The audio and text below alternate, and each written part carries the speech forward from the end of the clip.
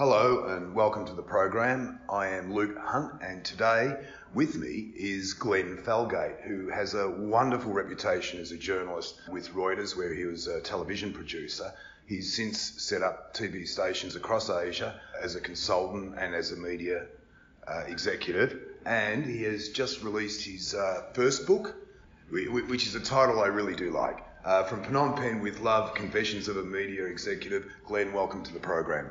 Hi, Luke. Thank you very much. Uh, let's start with the book. It's a it's a cracking read. I, I quite liked it. It's very much a coming home tale as opposed to uh, an expose on uh, setting up television stations around Asia. How did you? Why did you? Uh, you've got a smile on your face, which the audience can't see, but nevertheless, it, it is a very good read.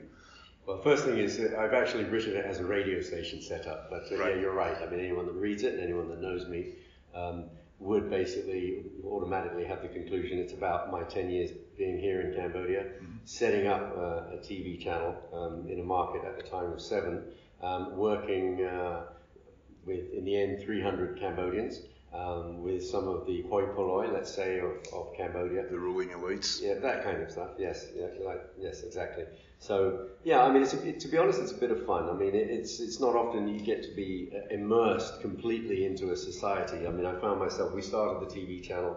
Um, with 20 people. Right. In the end, we had 300. So there was a lot of, you know, there's this wacky foreigner suddenly arriving and setting up a TV channel um, in a different language to what, to what he understands, mm-hmm. um, a different culture to what he knows. Right. Um, and so there was kind of a recipe for a lot of, you know, like a lot of fun and, uh, you know, misunderstandings and, sure. uh, you know, from on both sides, I think, basically. But, I mean, one thing I can say is, yeah, I mean, it's in the book. I've, I've done it setting up a radio station because I don't want it to be too too close to reality. Although it is inspired. I by, should I should point out it is fiction. Yeah, it's, it's inspired by real life events actually. You know, and right. uh, and some of the characters there. I've, I've embellished some of the characters, I've embellished some of the uh, incidents.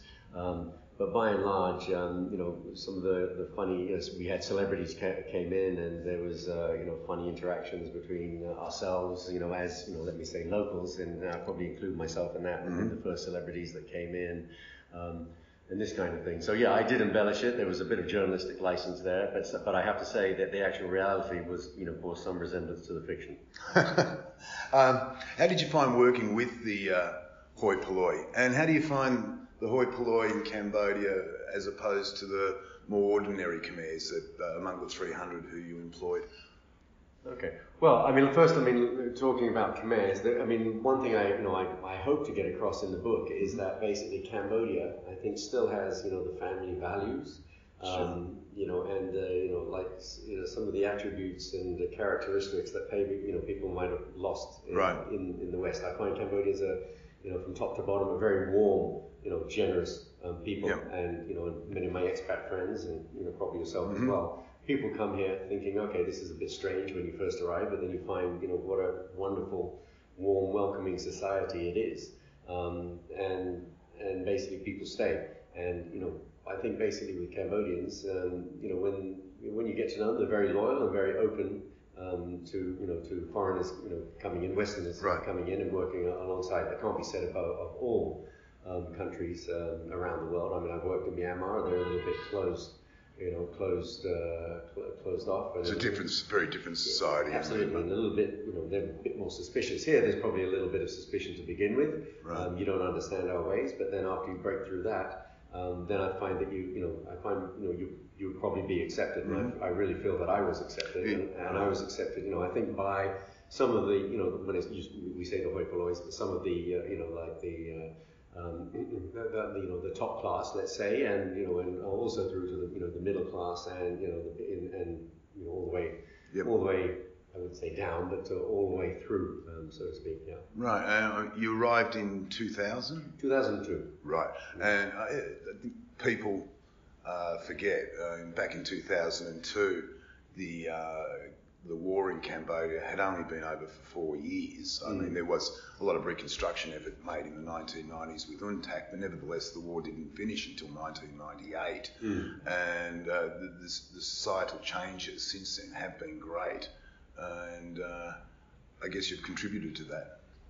mass media. Well, mass well, media is extraordinary in Cambodia Okay, now. I mean, to be honest, there was a there was ten, there was seven TV channels there at the time, um, and it was a bit of a free for all in terms of like sales and you know Right. advertising. Um, I don't think people realized the value of TV at the time, and it was kind of like a you know like uh, sell at all costs. One thing we tried to do, well, well, the first thing I should say is when I was asked to set up a TV channel, one, I'd never set up a TV channel before in my life, okay, so I didn't come with a track record. Two, the parent company um, that asked me to do it didn't actually, they, they were actually in the mobile phone sector and they didn't Right. really want a TV channel.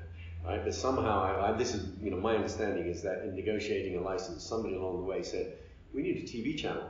Um, you know, if you're going to have a mobile phone license, you need to set up a TV channel. So, you know, I think the company, whose name I won't mention, but I think people can figure it out if they know me, um, basically they you know they, they didn't really want to set up a TV channel because it wasn't their core business. So Right. along comes this guy. They have to go and get this foreigner from outside who can set up a TV channel. So they find me because I've got a track record of you know, Sure. know, working with in crazy places with you know. We'll get with there in a Reuters, minute yeah. too, Yeah, by the exactly. way. having worked Reuters, so they probably said, okay, this guy's crazy enough to come to Cambodia and set up a TV channel against the odds.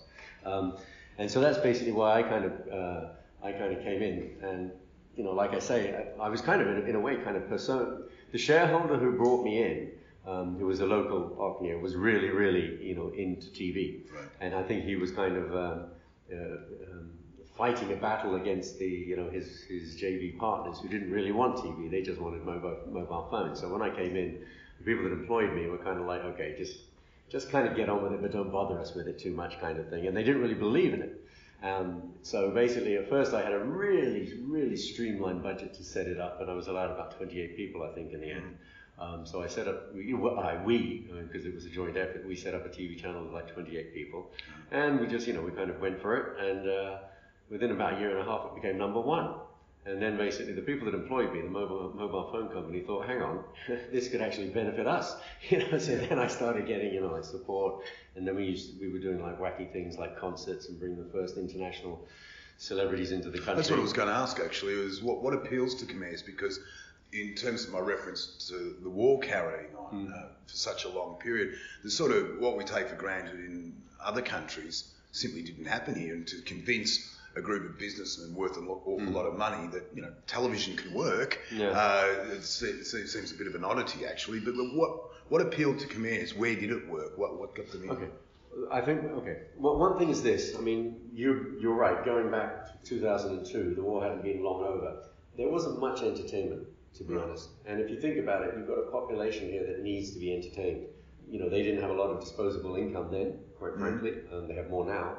Um, you know, and that's why you see Khmer's out and about now in restaurants and being entertained and, you know, going to entertainment parks and cinemas even, Sure. etc.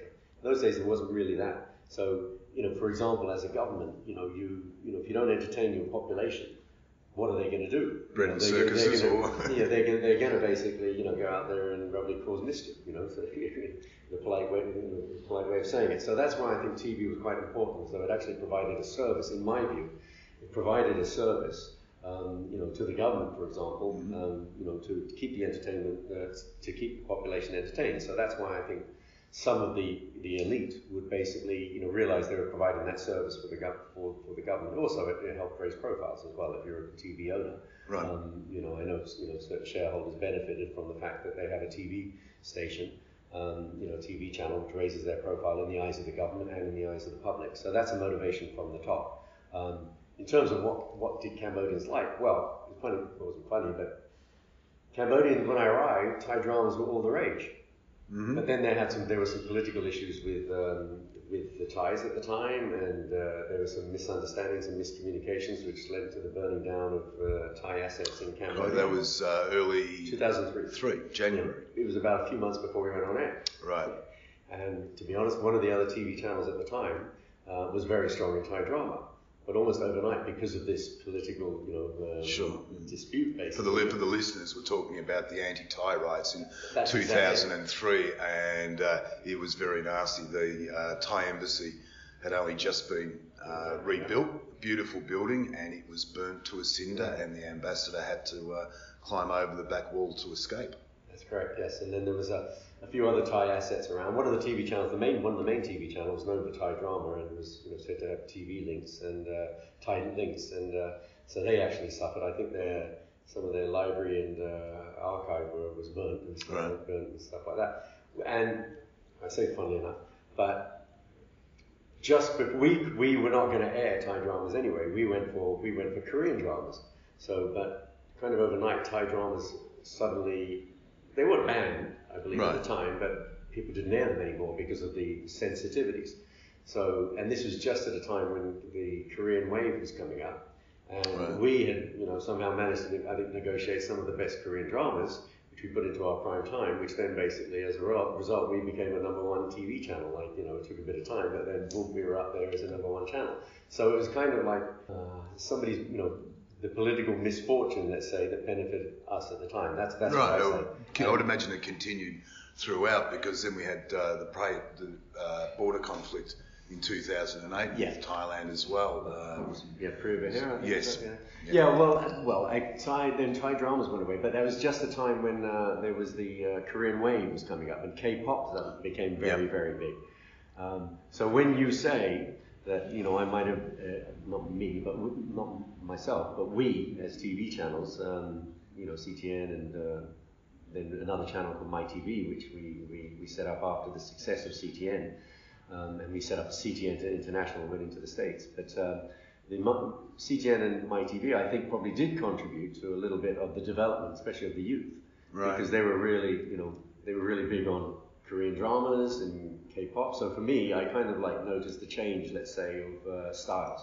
You know, people started to become, you know, more trendy, and, and I think it probably was a result of, you know, looking at, you know, K-pop and you know, you know how Koreans have got a, a real South Koreans got a real reputation for being very, very trendy, stylish, and good-looking, and uh, you know, I think that was, you know, people were aspiring to that here, so it might have changed their styles and stuff like that. So. How- As a television producer, how did you uh, find the task of writing 80,000 words? I, I know you have memoirs to come, which we'll get to in a minute, but how did, in your mindset, how did you go about writing your first book?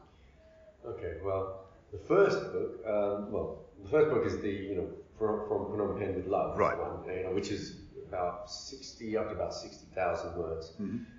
To be honest, I kind of wanted to make that a bit like a Peter Mayle, um, you know, a year in Provence or, you know, Toujours Provence or whatever like that. A bit of like a bit of fun, but showing, you know, the, you know, the warmth of Cambodia, and, you know, and- That all comes out. But I mean, I found it. How can I say? I, I, at one point, I actually wrote down the reality. You know, like the actual memoir. But then I just, you know, like this is what actually happened.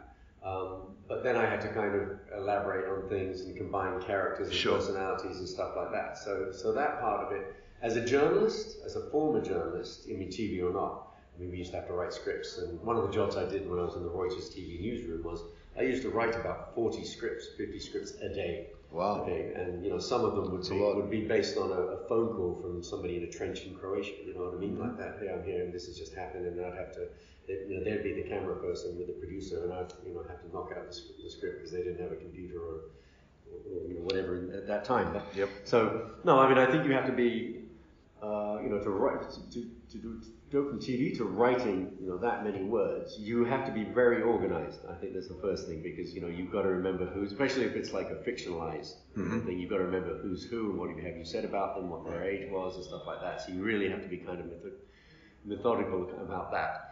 And also, I mean, the flow. I found that the flow of, of a fiction book, you know, may be different to a you know real mem- memoir. You know, has to be kind of you know up and down. You know, if a bit, you know, you've got to have a, a bit of light relief here and stuff like that. So that's the kind of consideration you have to do. In the end of the day, it's entertainment, just like a just like a TV you know story or a TV program might be. It's entertainment. You've got to keep people interested. So that's what I tried to do with From Phnom Penh with Love. Right. Um, you know, there you know, you know, so you know, so yes, I've, like I say, I've combined certain characters, I've combined certain incidents, uh, changed certain incidents, um, you know, and stuff like this. Um, but like I say, you probably have to be. It takes a lot of concentration. It's pretty hard work to, to write a book. People think, oh, I'm just going to write a book. You know, you're sitting in a bar and says, oh, I'm going to, write, I'm working on my book. But actually, it's a lot of hard work. I mean, that that that probably took me three or four years actually, because there's a lot of I proofread it myself. So if, there's, if there's any mistakes in my from Phnom Penh with love.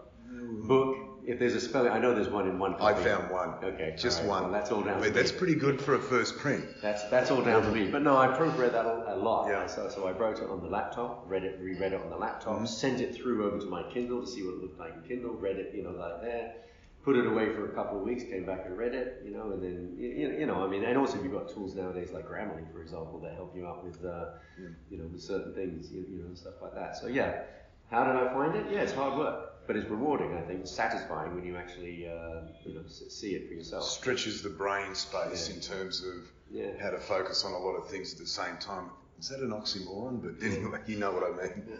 Well, I'll tell you a funny thing is that Yeah. when I was with Reuters TV, I at one point after working with them, you know, for eight nine years, I said, well, I I think I'll go into text now because I always kind of wanted to write. I always wanted to. Th- I always thought myself. The re- reason I went into journalism was because I always thought, you know, Ernest Hemingway, a bit of adventure, life in the sun. That's you know, that's the reality. Then the reality is when you do get into journalism, you realise that actually this is pretty damn serious business, and people are getting shot at and killed around you, which is the reality, which I'm sure you'll get onto later. But, Sure. uh, but yeah, I mean, I always fancied myself as a writer.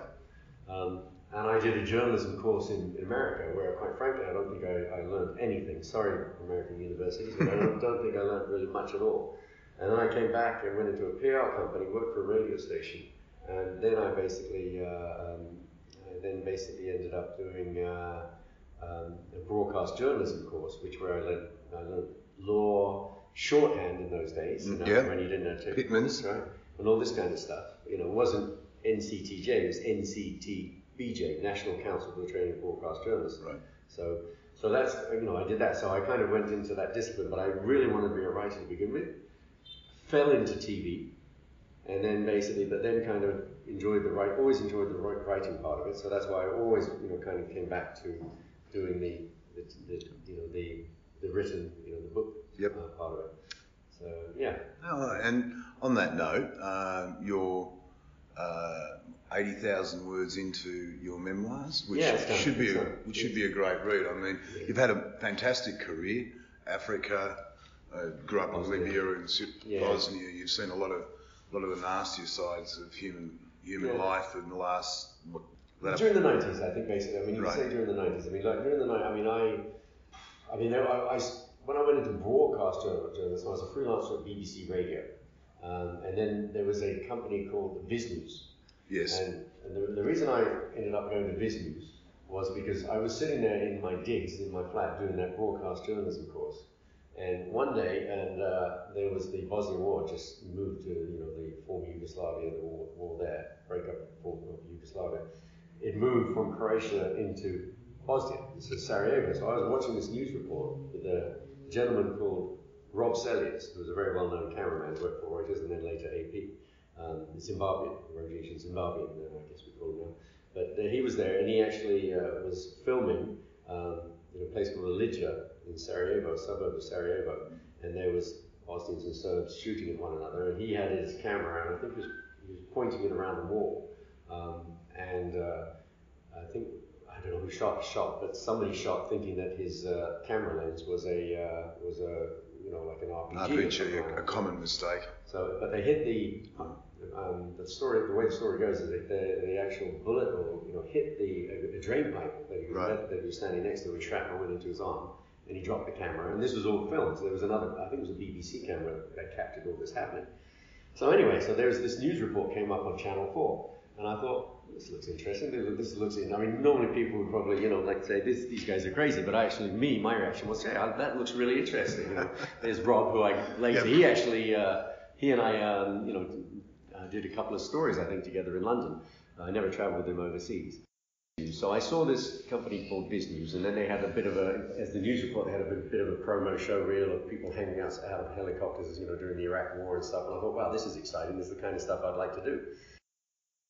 So I actually phoned up Viz News and said, hi, um, you know, I'm, you know, I'm looking to, to work. You know, I'm, you know, I'm interested in international news. And I I mentioned. Tim Arlett's name, who didn't know me from Adam, and uh, they asked me to go in. And so I went in and I saw this newsroom with all these flashing TV monitors and satellite feeds coming in and feeds from Jerusalem and all this kind of stuff. It looked like, you know, like a, a NASA control room, you know. And anyway, so I went in there, spent a couple of days with them. Long story short, I freelanced with Viz News just as it was becoming Reuters. and Right. being taken over by Reuters. And um, I ended up, you know, having freelance, being asked to work for them um, full time. My first assignment was in Iraq in 1994. Nothing happened. Actually, I was just there as a caretaker with a camera. I was sent out there with no, very little camera training and had to learn very quickly on the job how to operate a camera. So my pictures were all the wrong colours to begin with. And then, um, then after that was my first trip, and then I was going to do a second trip for Iraq because we had a rotation, just kind of a care, caretaker, just in case the Brits and the Americans bombed, you know, when Saddam Hussein you know, stepped out of line. Anyway, that was my first trip. Then I went off to Sarajevo, and that's where I kind of cut my teeth. There, that's where I found out. Very heavy scene. Yeah, was 90, I was there in 1994, which is quiet, but then in 1995 I spent a bit of time there. It started getting very heavy in 1995. Yeah. Blown up in a TV building, shot at many times. I think there was one month when it was. Uh, it was a date, the date that we got blown up in a TV building was June 28, 1995, and that month, I, myself and a Italian cameraman Flavio Maspes, a very good friend of mine, I think we counted about seven times where we, we had shrapnel go through the back of the car one day. We went back to our the Holiday Inn where we were staying, and uh, both of us in separate rooms had shrapnel in, in the bed. Had we been in the bed, we would have been, you know, Pinned. and killed. Yeah. And uh, we shot out many times. Had the car wheels, you know, car tires shot out. So yeah, it was quite a bit. It was a pretty heavy month, Right. culminating us getting blown up in a TV building, um, which injured quite a few of our, our friends and colleagues. Um, yeah. So and then yeah. So the Sarajevo, that was Sarajevo. So I kind of cut my teeth there, and then Kosovo. Uh, with Taras, who you know. Yes. And, uh, I was with Taras and a few others in Kosovo, and uh, um, and there was also um, Taras was also killed in um, Iraq. Iraq uh, during the invasion. 2003. Yes. Yeah, and uh, yeah, Kosovo, Albania, Albania, uh, the pyramid schemes, uh, Congo, Kinshasa, uh, Congo, uh, Brazzaville, um, Mozambique floods, uh, Sierra Leone, couple of trips, best and worst trip. Best trip, I was there two weeks. Do you miss it? Did you do you miss the life of a reporter as opposed to you have a lovely life now as a television executive, but uh, Well, I'm, I'm not really a television. I'm a television consultant now, uh, and just to clarify, I kind of and you know got my own media PR business. So uh, yeah, I was an executive before, Right. but I kind of like handed that over to others. So I'm kind of helping them to be the executive now. Sure. So uh, which which gives me a bit of freedom, quite you know, a bit more freedom, you know, rather than because when you actually are an executive for a TV channel, um, you know, you're really is night and day, and uh, you know, all, all the time. You're re- you know, so I have a bit more freedom at my age of 57. Um, missing journalism? Um, I, well, yeah, I do. I mean, I love writing a story. That's why I've done my own writing, you know, books Right. and stuff, and you know, and press releases. I don't, you know, I mean, I try to always find an interesting angle for a press release, for example, here for our own company. But I miss the camaraderie. I mean, look, I mean, we. I, I, everyone tells me that journalism has changed, and I think uh, you know, since when I was doing it in the '90s to now. Um, the 90s, we, we had a certain amount of freedom. You know, we'd be sent off to Sarajevo, and if it's up to us, if we wanted to go up to Mount Igman, Right. you know, and we didn't have to phone the desk and say, "Hi, can we go up to Mount Igman?" We just do it. There's, that's where the story is. We'd go down that road. Yep. Okay, and um, you know, we you know, we'd, we'd assess the situation and just do it. And I'm, I've heard now that you know, the it seems I, I've heard that um, you know, news agencies and some news organisations are, are more centralised, centrally controlled. I think from the. the I think that's office. very That- I- quite true. Yeah, that, that's that's what I've heard. Uh, And then we, you know, I know with quite a few media organisations that they cancelled out, you know, the bigger small, uh, the bigger bureaus in small countries, locals only. Yeah. Then the regional head offices, say in Bangkok, which would look after Southeast Asia, gone. Yeah. And then it's uh, so it's all come, the one the decisions are coming from London or New York, uh, and then there's not the same. There's not the number of people on the ground anymore. They expect Yeah. one journalist to do everything, and it Yeah. can it can be a little lonely. Yeah. Absolutely, yeah. I mean, I've, I've heard this. I mean, I tell you, Nic Robertson, who Yep. CNN, who in Sarajevo, he was actually a producer, I believe, in uh, Sarajevo when I knew him. Now he's obviously a very well-known correspondent. We went back to a Sarajevo reunion. He was on the same flight as me, and we were talking about the old days. And I remember him, and I'm, I'm sure he doesn't mind me quoting him, um, you know, not verbatim, but basically, I, you know, I said, "When are you going to write your book?" Nick?" Yep. He said, "Honestly, Glenn, there just isn't time." He said he remembers the first time he went into Sarajevo, Sarajevo, it took them nine days to do a satellite feed. He said now you're doing it within like nine, I think nine seconds or even nine minutes of you know hitting the ground, you're live. You know, Yeah. you know what I mean. You're, you know, so now and then you have to do this, file this, and file that. So it seems like the demands, I think, on agency journalists. You know, he's a broadcast journalist, Sure, um, you know, uh, a channel or a channel journalist, uh, but agency journalists and everyone, I think the demands are probably higher, probably because of social media, because it's all instant now. You know what I mean? Yep. So you're not hitting certain bulletins and stuff. I mean, with the agencies, as you know, you know, you- you've got rolling deadlines anyway all the time. So when everything is happening, you're, you know, you're breaking it all the time. Basically, you're breaking the stories. Do I miss it? Look, I mean, I, I yeah, I do. I, I, I miss the camaraderie. I mean, there was times when I was setting up the CTN channel here, Mm-hmm. um, when I thought I even you know reapplied, and I was actually offered a, a job in, with Reuters in Beijing um, to go back to my old organisation, but in the end I turned it down because uh, um, you know, personal reasons. But uh, no, I, I do miss it. I've always loved it. I like writing a story. Um, I like I love the camaraderie of it. I mean, you know, the, you know, you're in places by your, you know, you really feel you're by yourselves. You know, like in Africa, basically, uh, you're there, and even if you're competing, you know, like Reuters competes against, you know, at, those, at those times WTN or APTN and AFP, whatever. But you're you're to, when you're in those kind of things, it's something that maybe head office doesn't see is.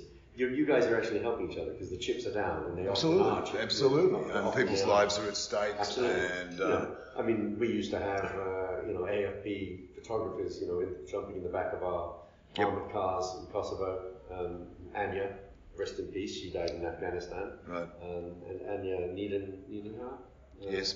Yeah, um, lovely lady. But anyway, she died she had in Afghanistan. But we would travel there, even though Reuters and AFP were kind of competing, but we'd kind of, we'd be together, you know, and uh, help each other, you know, help each other out. When the TV building got blown up, uh, our, my direct competitor, Feridun Hamani, I, you know, I took him to hospital with Rialdo, who was working with the WTN at the time, which is Reuters' direct competitor, you know. And so, you know, when the chips are down, you come together. Um, it's something that head office doesn't see. Um, And nor should they. Exactly, because on paper you're in competition. That's but right. often, I mean, you know, we used to basically, when it got really dangerous, like the day the TV, TV uh, building got blown up in Sarajevo, we became a pool arrangement. And, you know, anything that was filmed in, um, there, there used to be a Sarajevo agency pool, but that was kind of breaking up. As soon as the Serbs fired this rocket and it blew up the TV building, we boom, we went, went back to pool again. And I, it was me that was in, insisted it, and Reuters insisted pool with AP and WTN, Right. um, you know, and stuff A like that. major competition. Yeah, exactly. So, yeah. But uh, no, so I, do- yeah, I, I kind of missed that, the camaraderie part of it. Would I do it again? I mean, look, I mean, honestly, we filmed ourselves being shot at on the uh, Mount Igman Road in Sarajevo. We knew the road so well. We actually knew when to film. So myself and Flavio, Miguel Gil Moreno, rest in peace, um, who- died in Sierra Leone, but he was driving that day. And Flavio had the camera on his shoulder, and I was sitting in the back.